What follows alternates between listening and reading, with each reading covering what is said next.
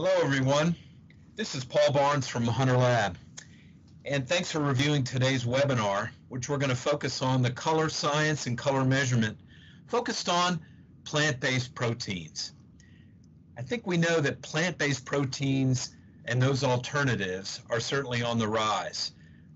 We've seen global per capita meat consumption drop in the last decade, and more recently, disruptions of traditional meat processing have caused various supply issues globally.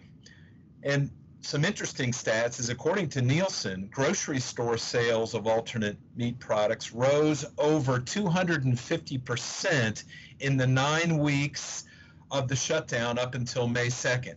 Uh, very interesting. Faster than prior to the pandemic. So even more so, we're seeing acceleration in the interest of plant-based protein type products. And it's just not the meat alternatives either. You know, mentions of plant-based products in the literature and in the news have also been growing well over 200% globally in the last year or so as well. So we've seen a lot of interest from our current customers and new customers to measure the color of plant-based proteins and products of all type. So what I want to do today is take a look at some of the key topics in color measurement and talk about uh, what the industry is doing a little bit and what can be done to best measure color of the various plant-based proteins that are out there now. This slide deck is available from Hunter Lab. There'll be email uh, at the end of the talk as well as uh, on the IFT webinar section as well. So, so let's get going. I call this what color is your plant-based protein? And again, I'm Paul from Hunter Lab. So why do food scientists even measure color? What is the overall reason for that? Well, a couple of few key things that I really want you to walk away with. One is color can be an indicator of overall product quality, brand consistency, and of course consumer acceptance. That's a big one. So quality, consumer acceptance, and brand consistency are why food scientists in general are measuring color. Also, from the business side, measuring color to make sure it's correct when it's going out the door helps prevent expensive returns and rejections that are possible. And overall, measuring color can be an overall indicator of any process variation throughout the production process. But in general, what our customers are doing and what food scientists are doing in general is trying to save money or cut cost eliminate risk, or for strategic business objectives, adding color measurement into the analytical methods that the food laboratory is doing. And what color measurement can do is eliminate subjectivity and add objectivity in the in the analysis of a food product. So another thing to talk about is where where actually in the process do food scientists measure color. And it really is throughout the whole process, starting at incoming QC of the raw material, R&D and the development of new products, new colors, new color specifications, in-process inspection, and also final production testing. All throughout uh, the food production process and development process, color measurement can be used and is used. and color can be measured uh, in the QC laboratory, at the line, or even on the line. All different areas within the production process where color can be measured. All right. So specifically to plant-based proteins, why? Why would the why, why would you measure these? Why would a food scientist measure? Why would companies be interested in measuring this? And from our work in the industry, we found these are three big reasons. Number one is that the consumer is, of course, looking for and desiring a color and appearance to closely match that of the traditional product that they're evaluating. Pretty, pretty understandable. Number two, What does the product look like before and after cooking? Before cooking can be in the store when it's purchased, all the way through to after it's cooked and on the table for consumption.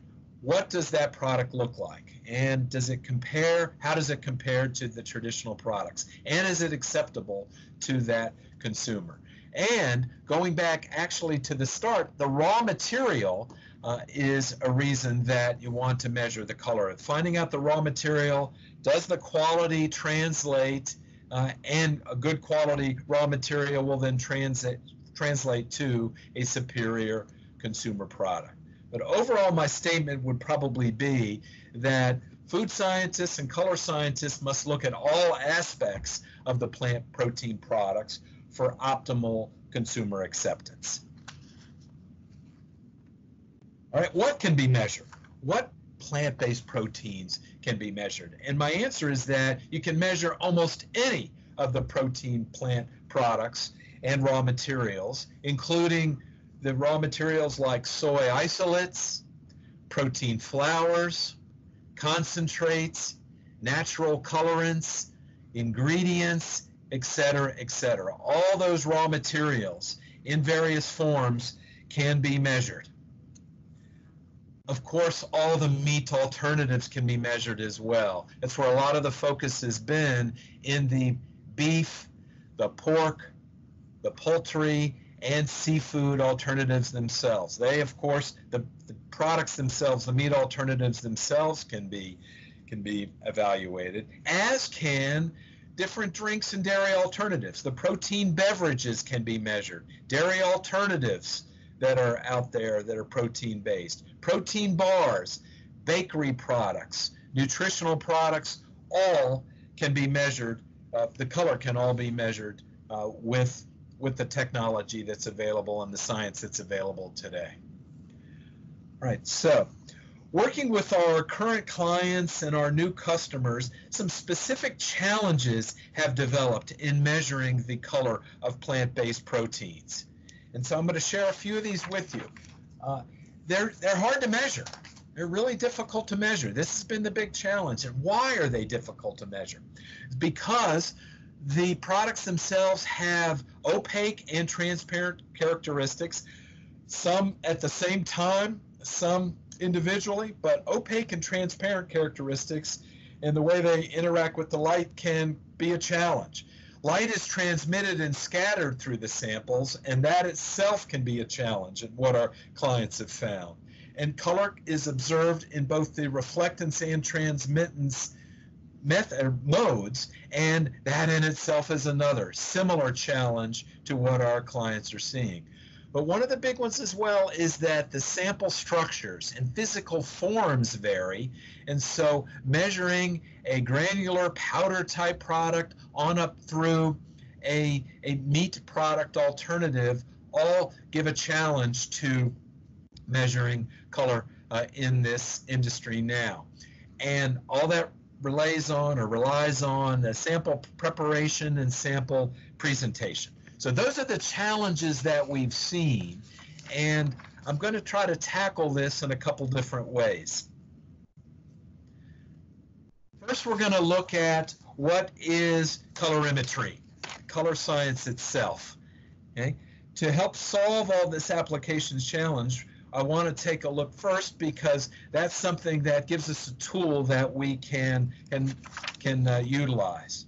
So the first thing I'm gonna gonna say is is when talking about uh, colorimetry in general is that the governing body for throughout the world is called the CIE, and that's an acronym for Commission Internationale d'Éclairage, and that is a governing body that's been in existence about 60 to 70 years, helping to define color measurement, color science, color color science principles. And these are a couple of key things I really want you to walk away with and understand after the webinar today. And what does colorimetry, CIE color, colorimetry actually do? And number one, it evaluates color as the human eye does. Evaluates color as the human eye. And it combines the illumination or the lighting of that product with the human observer and the human element into the color measurement. Really important parts. You know, measuring color as the human eye does or evaluating color as the human eye does and combining the illumination and human observer into the color measurement. Two big ones there. Colorimetry incorporates the entire visible region of the electromagnetic spectrum for analysis. A lot of the analytical tests that are done in a laboratory will be looked at at just a single wavelength, a single wavelength in the electromagnetic spectrum, maybe in the UV, where there's a wavelength of maximum absorption. But it's really important to note that colorimetry incorporates the entire visible region for analysis, like your eye does, but it's really important to note that the instrumentation is, is operating in the visible region. And the other thing that colorimetry does is uses color scales to be able to quantify, describe, and communicate colors. We'll talk about some of those. And I want you to know that CIE colorimetry conforms to all the global standards. Here in the US, ASTM, and around the world for ISO specifications and others. So CIE colorimetry, again, been around for a long time and conforms to global standards. All right, so to define a color and understand a color and describe a color in colorimetry, you need to think about three areas. You need to know what's happening to the product in three three different areas. Number one is the light source. What light source or illuminating condition is the product being observed in? Number one. Number two is how is the sample itself? How is the object interacting with the light that strikes it? Okay? And number three is the observing situation. What is happening in the observing situation? And all three of those are, are allow us to describe and define a color.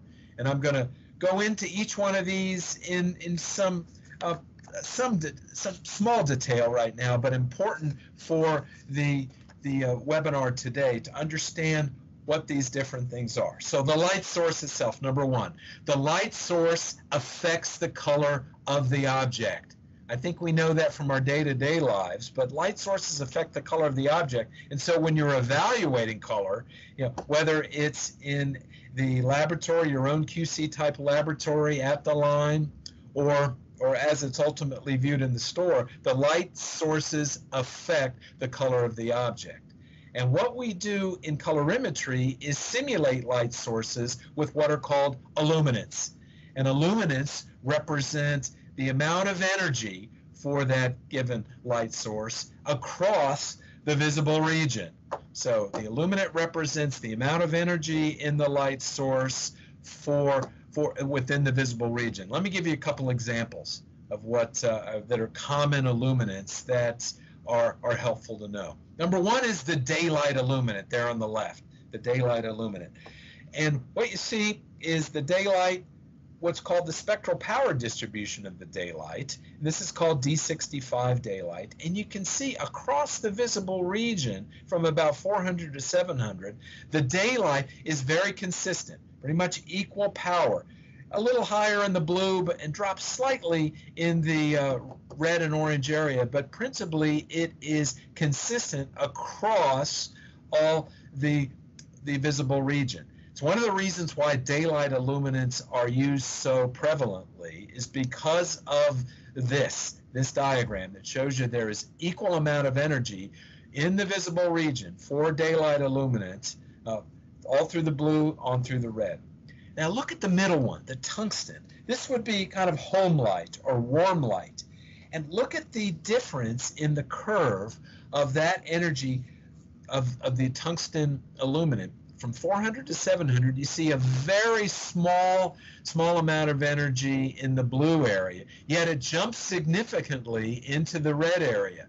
This is why products that you have at home, or when you have tungsten type illumination at home, it feels warmer. It actually you sense a little bit more red. You see a little bit more red. It's because there's more red in the illuminating condition very important to understand uh, as the product's being viewed. As is the illuminating condition on the right, fluorescent light, what's called cool white fluorescent, F2 is what this is. It shows you what the product may be looking like in a store, right? The the uh, power distribution for Illuminant F2 is shown there. You see a big spike in the blue, you know, that gives you kind of that blue feeling that you have, that blue bluish feel that the illuminated condition has in a store drops down in the uh, in in the uh, in, in the uh, moving in towards the green and then jumps up a little bit in the green and yellow and drops again in the red. But these show you these illuminants show you that the product can be actually affected and be seen differently in store light or in home light and in even in daylight so understanding what the illuminated condition is is important as you evaluate the color of your plant-based protein product. All right, the object. There's object from raw materials on through our, a, a burger on the grill. Okay, and so the object, I think what's important and want, I want to share with you today is that objects modify light in some way. Can basically do five things that when light strikes a, the sample or an object, about five different things can happen. One is light can be reflected. If a product is opaque, we see it as opaque. Most of the light is reflected. Very common. Common in food products, of course. Okay, but also light can be transmitted if the product that you're looking at is transparent or somewhat translucent, light can actually be transmitted through it, and you can see color in the trans transmitted mode. If if the product is somewhat translucent or is transparent. Objects or samples can also absorb light based on the different colorants that are in there. And when it absorbs certain wavelengths of light and reflects others, you see very specific colors in the products. It might be a yellow, it might be a red, and that's and if you see a yellow, uh, what's happening is that all the other light wavelengths are being absorbed and only the yellow pretty much is being reflected. That's what's happening. Absorption kind of related to transmission and reflection as well. But scattering can happen as well when light's strike a project, a, a, a product, excuse me, and the the light can be scattered, which would cause a cloudiness or a haziness in your product. Now, typically, that's going to work. And the last thing that light can do when it strikes a product is the light can actually fluoresce. And we don't see fluoresce in food product, fluorescing in food, pro, food products very often, but you might see it in, in packaging what's happening in fluorescence is that light from the UV source or any UV light is re-emitted in the visible region and it can change the color. It can make the product somewhat brighter. Uh, we don't see it again in food products typically, but sometimes we can see it in food packaging. Now, and what's happening at the object level was that the colorants in that object or that sample are selectively absorbing some wavelengths of light while reflecting or transmitting others. So that's kind of simply what's happening with the, with the object, very simply. Now, I mentioned in CIE colorimetry how the human eye is involved. so as we look at the, the observer portion of the, the uh, equation to define color, we have to think about the human eye and how the human eye works. And there's an eye, and moving from left to right, left to right, the light comes through the lensing systems, through the through the cornea, through the lens, and is focused on the back of the eye, which has the retina. And you've all heard of the retina, and then it, the stimulus goes down the optic nerve to the brain, and we see color. So that's basically how the eye works. But going back a long time ago into some of the science you may remember, what's on that retina area, it's called the fovea region of the eye, but in that retina region are what are called rods and cones. You may remember those. Rods and cones are responsible for lightness and darkness that we see and color vision that we see. Rods and cones, they're concentrated in that part of the eye And rods give us the lightness and darkness and light and night vision, while the cones give us uh, color vision and function at higher light levels. But it's important to know in colorimetry that there are three types of cone sensitivities. They're red, green, and blue. This is important to know, red, green, and blue. They're different cones that give us these sensitivities. And what the CIE did, very quickly, I'll, I'll give you the overview, is the CIE tried to define the average human observer. And through a variety of experiments done in the 1930s and then repeated in the 1960s, came up with what was called the standard observer. And there are two standard observers that have been published up lead, since 1964 as well. These are used widely in the industry, the 2 degree observer and the 10 degree observer. For, for brevity's sake, these functions quantify the amount of red, green, and blue sensitivity in the average human observer. And these are incorporated into colorimetry to account for that third piece of the triangle, and that's how the observer sees color. A neutral observer sees color.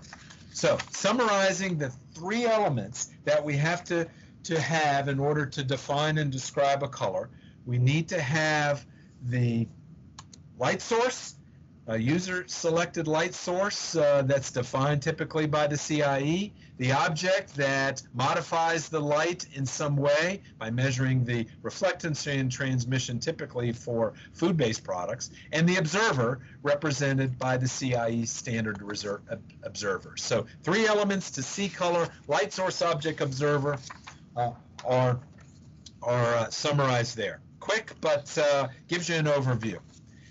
Now, what are the color measurement technologies or how does a color measurement instrument work?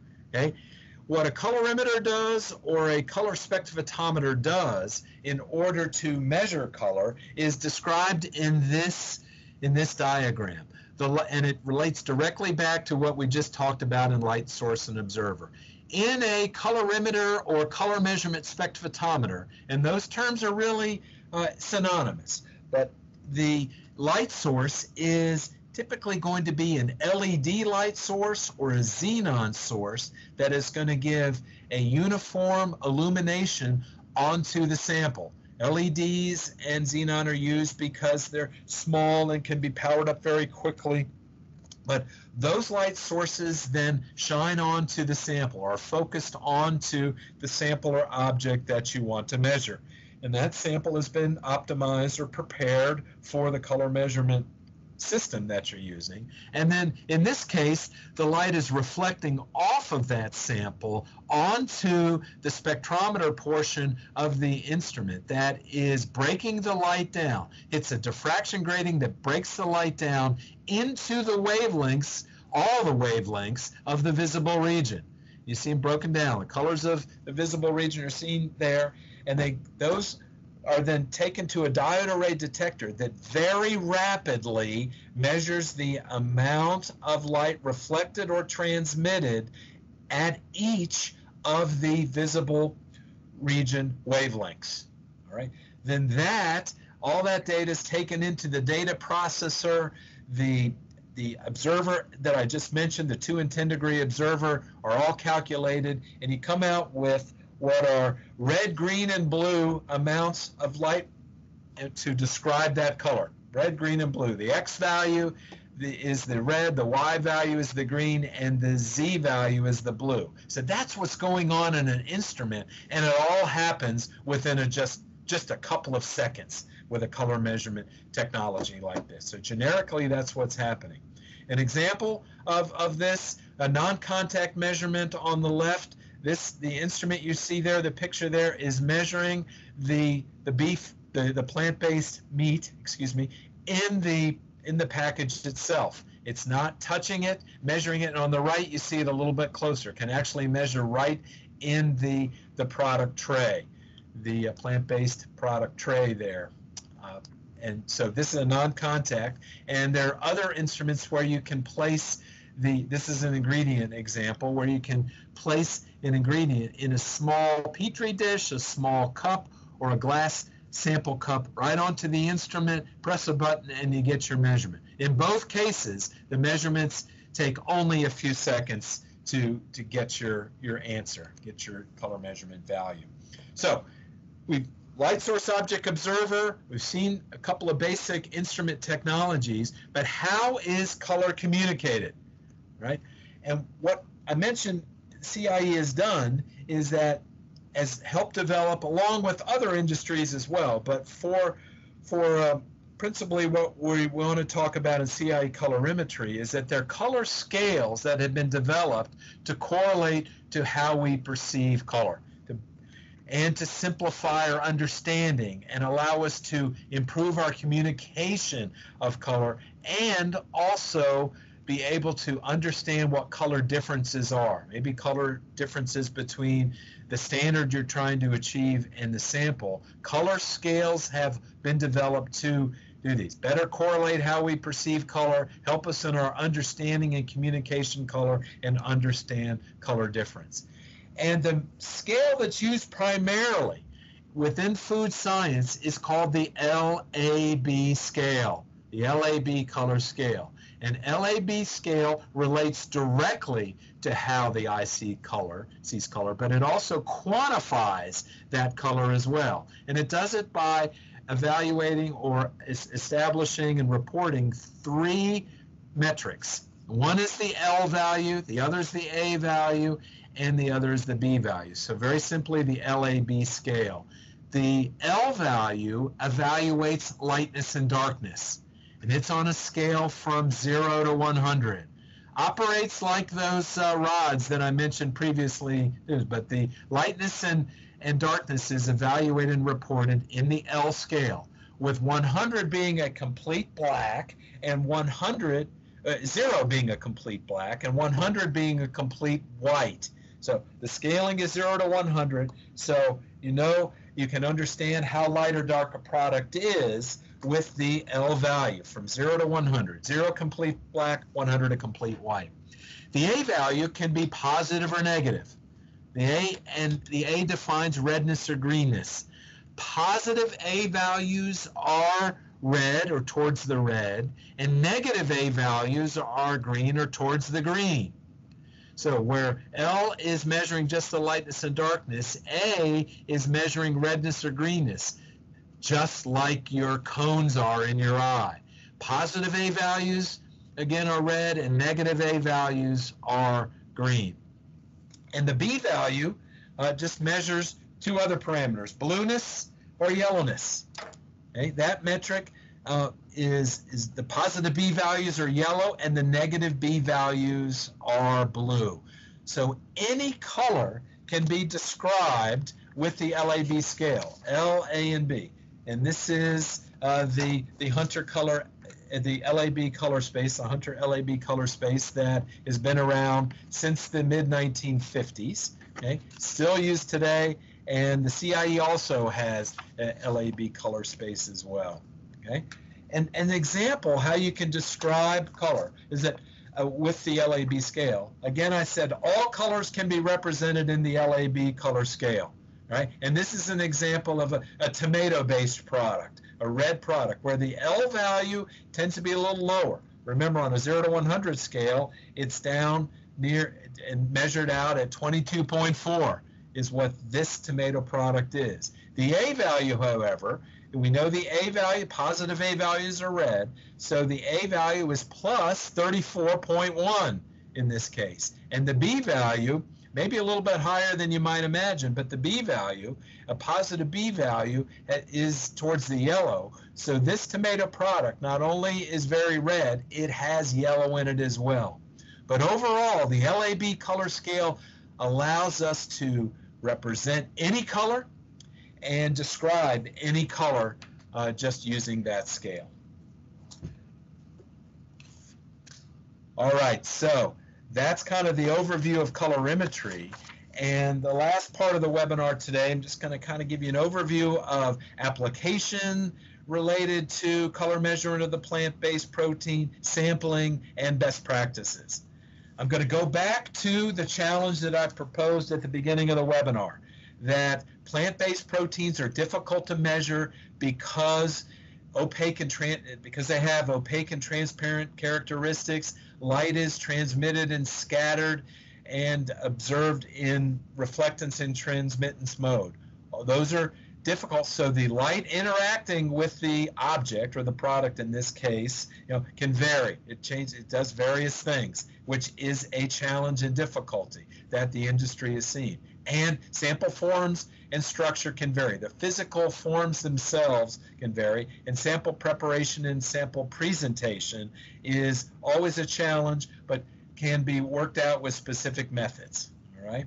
So to kind of tell you the, the application of colorimetry is that color instrumentation can quantify any color in liquid or solid physical state. Any of the plant-based proteins can be measured, whatever physical state it is, to get a good measurement. And we pretty much have done that so far. Sample prep and sample presentation is optimized in colorimetry. Okay? Where we usually talk about being consistent in the prep and being able to uh, consistently present the sample to the instrument for measurement. And doing so helps keep consistent uh, on the measurement and keeps consistent in the color values collected. The application of colorimetry also allows to replace subjective and visual methods or subjective visual methods with quantitative methods. And these me methods can be and these it can be recorded. Uh, the the data themselves can be stored, can be reported, validated, and all throughout the process, data can be collected and and provided with the the color measurement system. And these are systems that are precise and accurate and versatile for many different uh, type of products uh, in the plant pro protein-based world. So lots of different applications, as we mentioned before, and typically colorimeters can do that job. Now, what are some of the best practices uh, that uh, we would recommend for measuring? Certainly choosing samples that are representative of the product in manufacturing and that can be representative product of the raw material and representative of the product throughout manufacturing. And we want to choose samples that are representative, not not the best that you've ever made, but more representative of what the product is.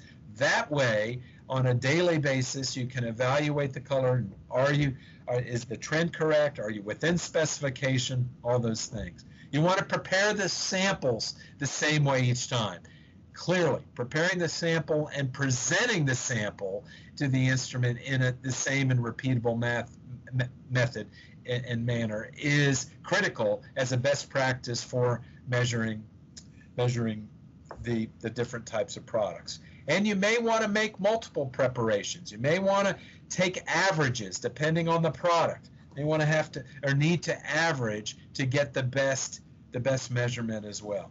But ultimately, in a specification, you are defining what the quality, the, the color quality relationship is. Okay? And that measurement system includes customer acceptance parameters, raw material inspection, maybe the process variation and process variables, and other business considerations. That's the entire color measurement system that you can implement. And we have many clients where the internal systems may be tighter than actually goes out to client-based. So I'm going to wrap it up now uh, in the webinar today. I appreciate your time in, in reviewing this today, and there's three resources that you can have. Number one is it, today's and this week's IFT Virtual Expo. We have people at the at our booth virtually to talk about different types of products. And so that can be accessed, of course, through the iftevent.org website. So IFT Show Virtual Expo available now in those exhibit power hours. The HunterLab website is another rich content website that you can go to to learn more about color measurements and applications that you're interested in. So that's www.hunterlab.com. And if you have any questions, you can email those to me at paul.barnes at hunterlab.com. There. So thanks for the time today. We appreciate it. And Uh, enjoy the IFT show this week.